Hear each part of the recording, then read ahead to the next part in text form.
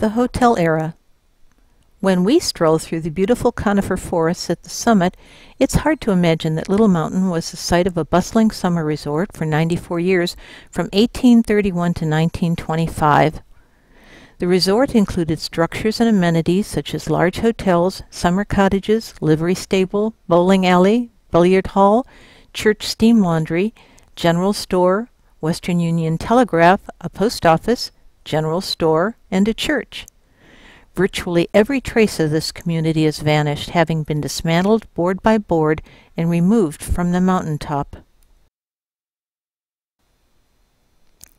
The hotel era began in 1831 with the construction of the Little Mountain House by the 300-pound fiddle-playing veteran of the War of 1812, Captain Simeon Reynolds, in 1868, the structure was upgraded and enlarged by Charles A. Avery into a three-story structure overlooking Lake Erie from the northwest rim of Little Mountain.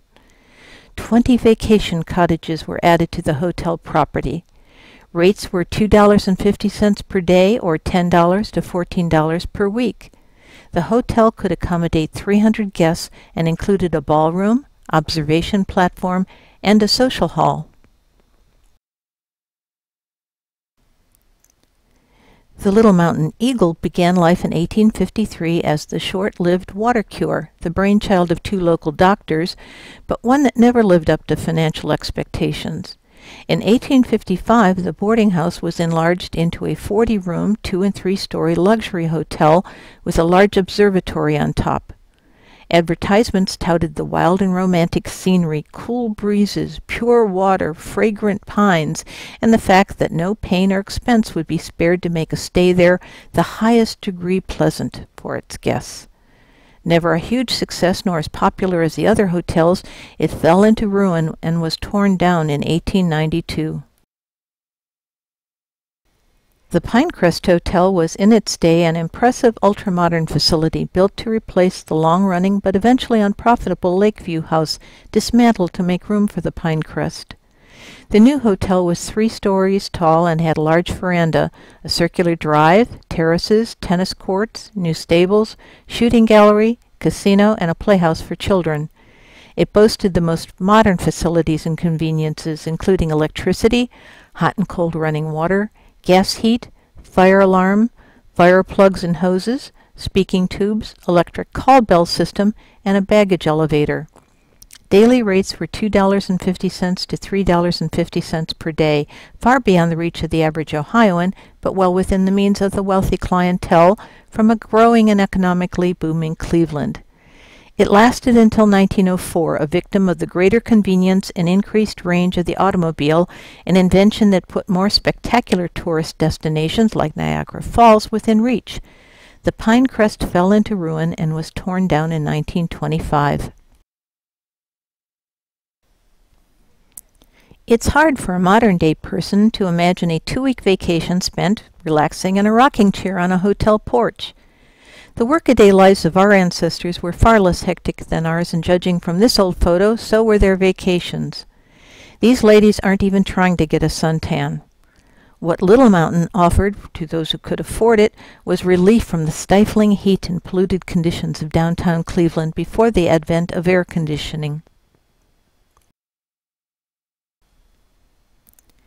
In this undated photo from the turn of the century, a group of men and women commemorate the moment by posing for a photo in front of the Pinecrest Hotel. No cut-off jeans or flip-flops here. These folks are dressed in their finest even while on vacation at a summer resort. Hotel advertisements stress the cool nights, low humidity, lake breezes, cool daytime temperatures, balsamic odor of the pines, refreshing spring waters, and complete rest available on top of the mountain.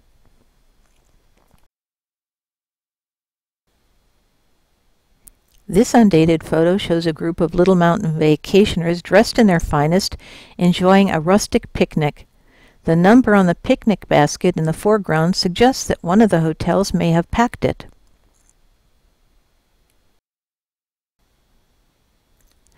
Renting or owning a summer cottage was another way to enjoy Little Mountain. The Lakeview House had 20 cottages built near the hotel. A number of wealthy Clevelanders bought land to build their own cottages. According to enthusiastically written advertising brochures at the time, there were allegedly no gnats, flies, or mosquitoes on Little Mountain. Healing waters provided relief from hay fever, malaria, and insomnia. Then there was the view of Lake Erie and interesting caves and crevasses to explore.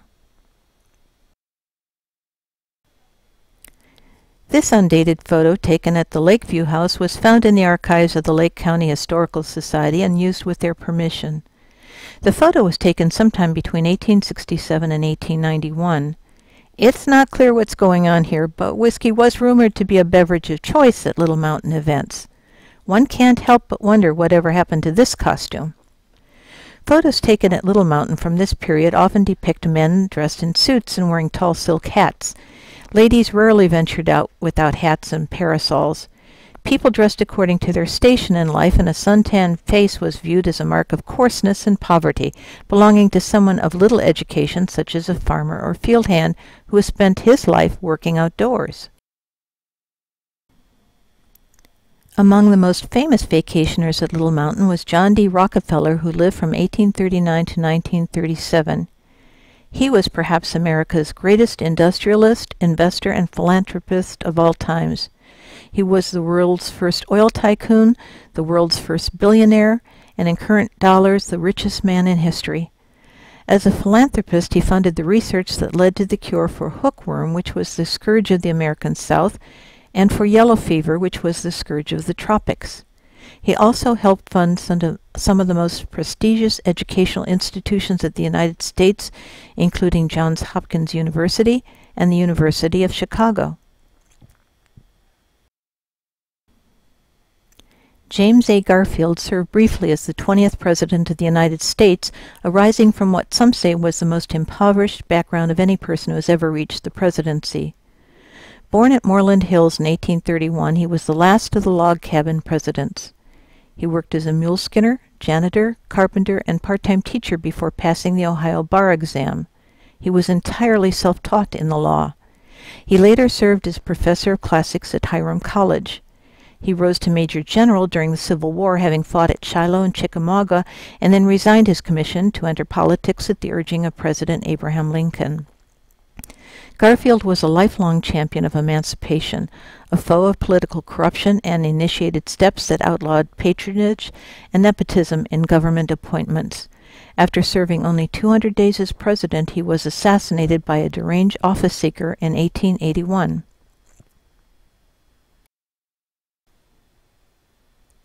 Jephthah Homer Wade was born in 1811 and died in 1890. He was a famous Cleveland industrialist, banker, and philanthropist. An early photographer and portrait painter, he became fascinated with the possibilities of the telegraph for rapid communication. One of the founders of Western Union Telegraph, he completed the linkage between the U.S. East Coast and the West Coast, making him a communications giant of, the, of his day. He donated the land that eventually became Wade Park and Wade Oval at University Circle. A staunch advocate of educational opportunities for Northeast Ohioans, he was the founder of Hathaway Brown School and Case University.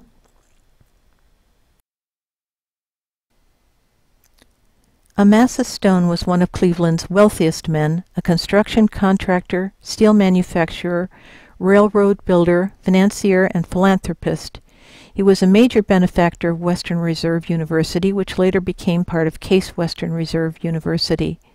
He held a patent for a revolutionary type of steel truss railroad bridge that was faster and cheaper to build. Ignoring the advice of engineers, he built one near Ashtabula with an overly long span. It collapsed into a deep snow-filled ravine late at night when the first train tried to cross over it. To make matters worse, it was a passenger train. The wreck killed 92 passengers, earning the name Ashtabula Horror. Two years later, Amasa Stone committed suicide after a board of inquiry found him partially responsible for the collapse. The accident instigated a tightening of safety standards for railroad bridges throughout the United States. In 1893, the Church of the Transfiguration was built on half an acre of land purchased for one dollar from the Little Mountain Club, a group of prominent Cleveland businessmen invested in Little Mountain property. The club also donated the bell, the altar, and some of the stained glass windows which were manufactured in Munich, Germany. By then the nearby Little Mountain Eagle Hotel had fallen into ruin. Lumber and stone from its demolition were recycled to build the Episcopal Church depicted in this drawing. Near the end of the summit trail, we arrive at the only monument dedicated to any of the many structures that once stood on Little Mountain. It commemorates and stands on the site of the former Church of the Transfiguration. The bronze plaque describes the 119 year history of the church as it moved from location to location in Lake County. This is a picture of the commemoration plaque for the church. As you read it, see if you can spot a mathematical error now cast in bronze for all time. In June 1983, this plaque was installed on the Little Mountain Stone Monument. It commemorates the first centennial of the Church of the Transfiguration, which stood on this site from 1893 to 1916 when the church was moved to Salida Beach at Mentor on the Lake. There it stood for 33 years until 1929, according to the inscription, when the building was moved to its current location on Baldwin Road. This is where the math goes awry because 1916 plus 33 years would mean that the church wasn't moved from Mentor on the Lake until 1949. This is the Church of the Transfiguration, renamed St. Hubert's Episcopal Church as it appears today on Baldwin Road. It was moved here on June 2, 1929 from its former location at Salida Beach, Mentor on the Lake, where it stood for 13 years from 1916 to 1929, as opposed to the 33 years cast in bronze in the Little Mountain Commemorative Monument. The church now sits in a beautiful natural setting on the banks of the East Branch Chagrin River. The original structural framework, the stained glass windows, and the church bell all survived both building moves. Almost every trace of the hotel era has disappeared. One of the few exceptions is the old pump house. Built in the bottom of a deep crevasse at the edge of the outcrop, it taps a cave-like opening leading a short distance into the conglomerate outcrop on the right, half filled with groundwater. The spring water was tapped and pumped into a cistern to provide running water, a modern, luxurious convenience for that time for the Lakeview Hotel. Cheryl Barabane found this fascinating antique half buried in soil and leaf litter near the Little Mountain Trail in 2010. She was on a tour led by her husband Tony, who took this photo after cleaning the bottle. Mexican Mustang liniment was one of the most popular and widely used patent medicines of the 1800s. First introduced in 1825, it was advertised as a cure for lameness, sore throats, burns, sprains, insect bites, animal bites, rheumatism, common colds, and a variety of other ailments in adults, children, and domestic animals, including cats, dogs, and horses. The active ingredients were one-third crude oil, which is the petroleum we refine today to make gasoline, one-third olive oil, and one-third ammonium carbonate, which is used in smelling salts and as a leavening agent in baked goods before the advent of baking powder. How these ingredients worked together to cure so many ailments is anyone's guess, but people in those days swore by it. The contents of this bottle may have been used by a vacationer to soothe sore muscles following a day of exploring the outcrops on Little Mountain. We occasionally find miscellaneous bits and pieces of cast iron fixtures on the hilltop and near the base of the outcrop, especially along the southern edge of the trail route. Old maps dating from the late 1800s show at least 52 buildings on top of Little Mountain, aligned mostly along the northwestern crest of the hilltop, which offers a distant view of Lake Erie. Given how many structures have fallen into ruin or been demolished, it's surprising how little debris we find on the mountain. It appears our forebears recycled lumber and metals much more efficiently than we do today. If we look two-thirds of the way up on the eastern hemlock trunk pictured here on the right side of the photo, we see a metal bracket with two antique electrical insulators nailed to the tree. It is another tiny remnant of what was once a fashionable resort with all the modern conveniences. The builders used living trees to support electrical transmission and telegraph lines that powered the hotels. Other luxuries included hot and cold running water, indoor plumbing, electrical call bell system, and baggage elevators.